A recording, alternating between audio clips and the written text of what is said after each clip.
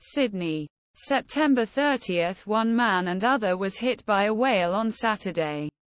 After the hospital was in hospital in Australia and turned his boats during a fishing reconnaissance trip. Police said that one man had unconsciously withdrawn from Gulf of Botany on the shores of Sydney. And then, and other was taken to hospital in a stable situation. The new Southern Southern Wales Security Minister Yasmin Catley said, A whale was included. Whoever thinks it would happen. It's very tragic. State Emergency Service Minister Jihad Dib said it was an absolute freak accident.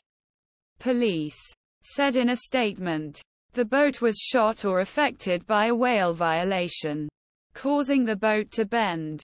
Both men removed. He said, Australia's large coastline is home to 10 large and 20 small whales. Although human deaths caused by whales in the region are rare. Australia and neighbouring New Zealand are warm points for mass whale wires on the beaches.